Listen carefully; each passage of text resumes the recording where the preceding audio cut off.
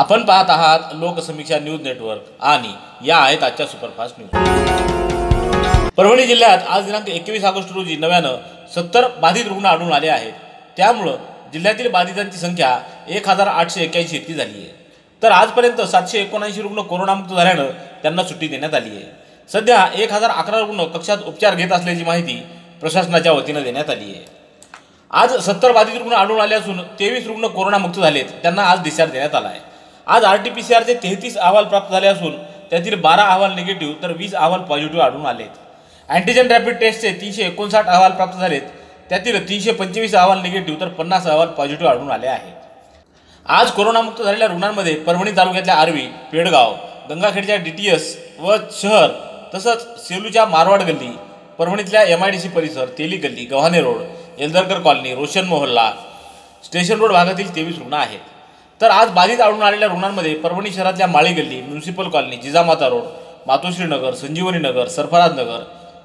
कृषी Sarathi colony Gajanan Nagar Ambedkar Nagar Dhanubai plot Dadarao plot साखळा plot municipal colony Suyog colony civil hospital Kadrabad plot police quarter Karegaon road Kranti Chowk Roshan Khan Mohalla Shivajinagar जिल्हा कारागृह Vikas Nagar Sanjivani hospital Juna Pedgaon road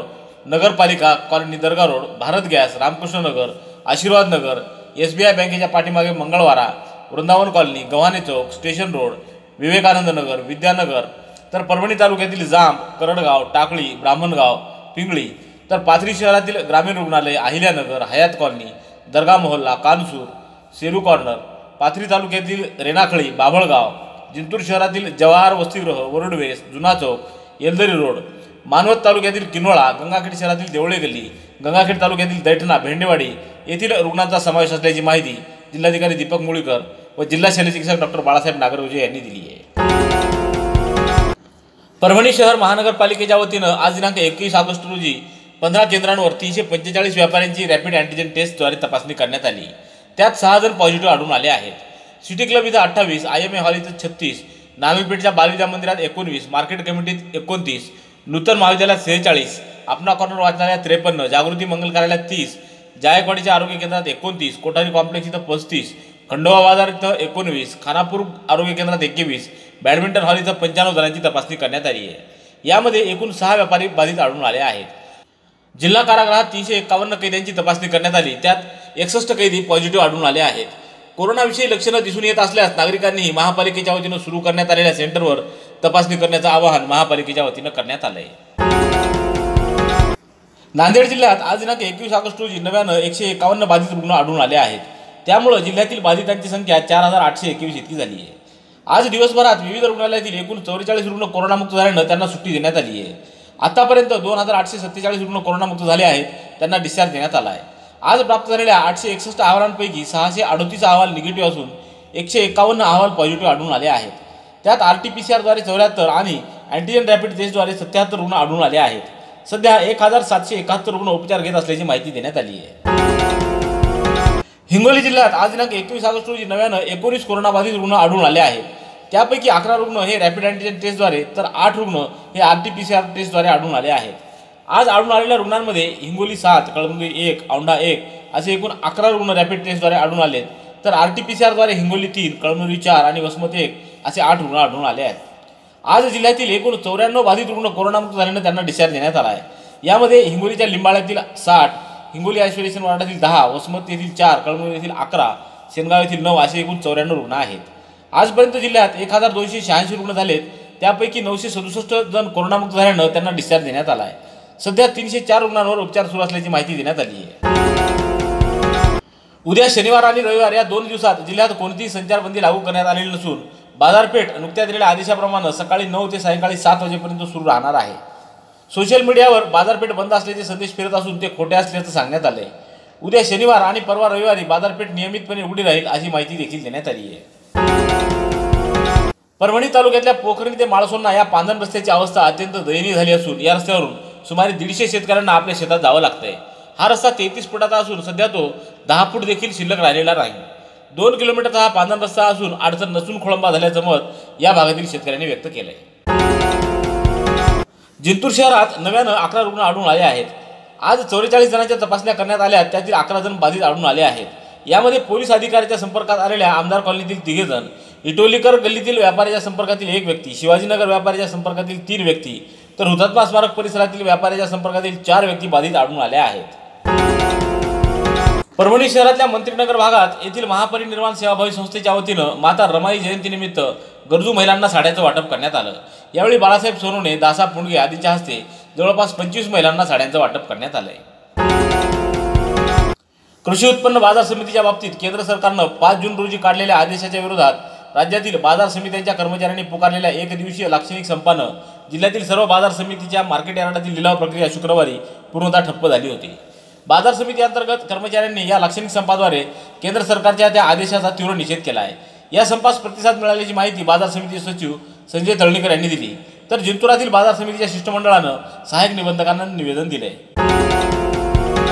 Palam तालुक्यातल्या नावलगाव ग्रामपंचायतीवर केलेली प्रशासकाची नियुक्ती रद्द करण्यात यावी व त्यांची उच्चस्तरीय चौकशी करून कारवाई करावी अशी मागणी वंचित बहुजन आघाडीच्या वतीनं जिल्हाधिकाऱ्यांकडे निवेदनाद्वारे करण्यात आली आहे निवेदनावर भगवान देवरे सर्जेराव पंडित एन जी खंदारे कैलास झुंजारे अश्रोबा मुलगीर आदींच्या स्वाक्षऱ्या आहेत महिलेच्या नावावर जमीन नसतानाही व कोणत्याही बँकेकडून कर्ज घेतलेलं नसताना राज्य शासनाच्या कर्जमाफी योजनेच्या यादीत सदर महिलेचं नाव येऊन त्यांच्यावरील सत्याऐंशी हजार रुपयाचं कर्ज माफ झाल्याचा प्रकार पालम तालुक्यातल्या तांदूळवाडी इथं उघडकीस आला असून सुमनबाई कदम या महिलेनं या प्रकरणी चौकशी करून दोषींवर कारवाई करावी अशी मागणी केली आहे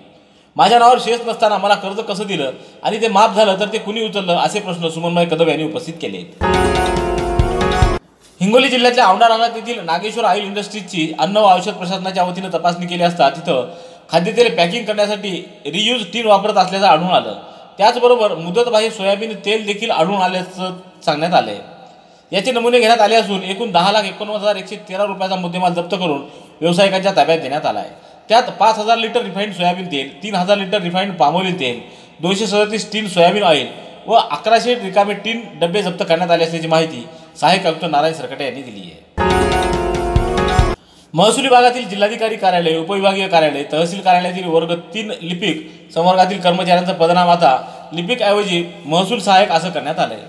महसूल कर्मचारी संघटनेच्या अनेक दिवसाच्या मागणीला यश आलं असून हे पदनाम लागू केल्याबद्दल महसूल कर्मचारी संघटनेच्या वतीनं मुख्यमंत्री उद्धव ठाकरे महसूल मंत्री बाळासाहेब थोरात महसूल राज्यमंत्री यांचे आभार मानण्यात आले आहेत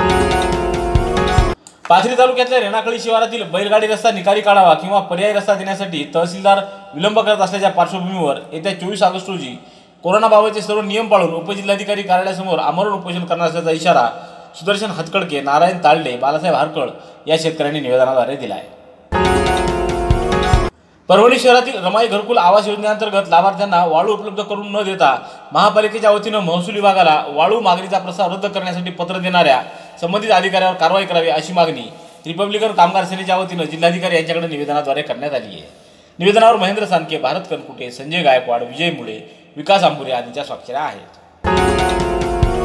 परभणी जिल्ह्यातील दिव्यांगासाठी वित्तीय महामंडळाकडून कर्ज घरकुल देण्यासाठी समाज कल्याण विभागाकडे विविध प्रस्ताव दाखल केलेत या प्रस्तावांना विलंब होत असून या प्रकरणी केंद्रीय समाज कल्याण मंत्री रामदास आठवले यांना निवेदन देऊन संबंधितांना आदेश देण्याची मागणी करण्यात आली आहे निवेदनावर विश्रांती साबणे उमाकांत लाड राहुल शिवभगत देवराव पोळ सुशीला खांबे अक्षय सोनकांबळे आदीच्या स्वाक्षऱ्या आहेत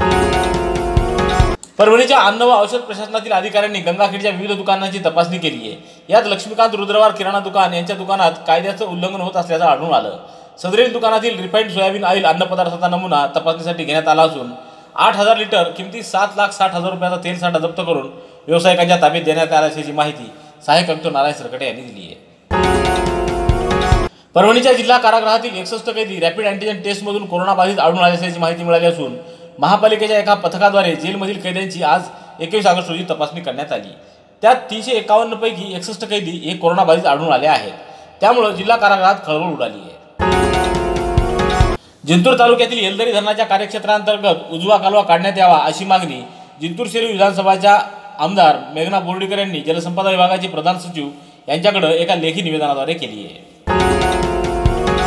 वंचित बहुजन आघाडीचे नेते ॲडव्होकेट प्रकाश आंबेडकर यांनी राज्यभरात केलेल्या डफली बजाव आंदोलनाची दखल घेत राज्यभरात एस टी सेवा सुरू करण्यात आली आहे त्या अनुषंगानं परभणीच्या स्थानकात वंचित बहुजन आघाडीच्या वतीनं चालक व वाहकांचा सत्कार करण्यात आला आहे यावेळी वंचित बहुजन आघाडीचे पदाधिकारी उपस्थित होते जिंतूर तालुक्यातल्या येलदरी शहरातील जिंतूर रोडवर नालीचं पाणी येत असून या रस्त्यावरून ये जा करणाऱ्यांना मोठी कसरत करावी लागते रस्त्यावर येणारं पाणी इतरत्र वळवून नालीद्वारे काढून द्यावं अशी मागणी गावकऱ्यांकडून करण्यात आली आहे परभणी येथील आविरा फाउंडेशनच्या वतीनं नुकताच बोधाचार्य डी आय पोटफोडे यांना महाकवी वामनदादा कर्डक जीवनगौरव पुरस्कार प्रदान करण्यात आला आहे यावेळी भदंत मुदितानंद थेरो रवी सोनकांबळे डॉक्टर भीमराव खाडे प्राध्यापक अशोक जोंधळे फारुख बाबा प्राध्यापक सुरेश शेळके यशवंत मकरंद गौतम मुंडे आदीची उपस्थिती होती परभणी महानगरपालिकेकडून कोरोनाच्या पार्श्वभूमीवर जे रुग्ण आढळून येत आहेत त्यांच्या परिसरात कंटेनमेंट झोन करण्यासाठी कंत्राटद्वाराद्वारे हे काम करण्यात येत आहे वास्तविक महापालिकेच्या भंडार विभागाकडून याबाबतचं टेंडर मागवण्यात आलेला असून पूर्वीच्या कंत्राटदाराची मुदत संपलेली असतानाही नव्यानं टेंडर देण्यात आलं नसल्याचा आरोप अन्य कंत्राटदारांनी केला आहे यात मोठी आर्थिक देवाणघेवाण होत असल्याचा आरोपही या कंत्राटदारांनी केला असून हे टेंडर तात्काळ करण्यात यावं या प्रकरणी जिल्हाधिकाऱ्यांनी लक्ष घालावं अशी मागणी देखील या कंत्राटदारांनी लोकसमीक्षेशी बोलताना केली आहे पाथरी तालुक्यातल्या तीर्थक्षेत्र रामपुरी येथील शांताबाई नखाते विद्यालयात शिक्षणाधिकारी डॉक्टर वंदना वाहुळ यांच्या हस्ते वृक्षारोपणाचा कार्यक्रम पार पडला यावेळी अनिल नखाते जी एस मोरे मुकेश राठोड अशोक कावरे मुख्याध्यापक श्यामसुंदर शेळगे आदींची उपस्थिती होती जिंतूर तालुक्यातील पाडबंदा विभागाच्या येलदरी जलाशयाची आज सकाळी दहा वाजता घेतलेली आकडेवारी अशी पाणी पातळी चारशे एकसष्ट पूर्णांक सातशे दहा मीटर एकूण पाणी साठा नऊशे सत्तावीस पूर्णांक सातशे दहा दशलक्ष घनमीटर जिवंत पाणी साठा आठशे तीन पूर्णांक शून्य तेहतीस दशलक्ष घनमीटर तर जिवंत पाण्याची टक्केवारी नव्याण्णव पूर्णांक सोळा टक्के असून गेल्या चोवीस तासात पॉवर जनरेशनच्या माध्यमातून दोन हजार पाचशे क्युसेक्स आणि मुख्यद्वाराद्वारे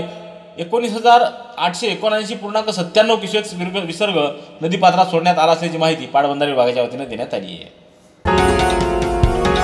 परभणी पंचायत समितीतील एका ग्रामसेवकास गुरुवारी कोरोनाची लागण झाली होती दरम्यान आज आणखी एका ग्रामसेवकाचा अहवाल पॉझिटिव्ह आला असल्याची माहिती मिळाली आहे आज दिवसभरात जिंतूर तालुक्यात अकरा पूर्णा तालुक्यात सात मानवत तालुक्यात चार आणि सेलू तालुक्यातील तीन रुग्णांना कोरोनाची लागण झाल्याची माहिती मिळाली आहे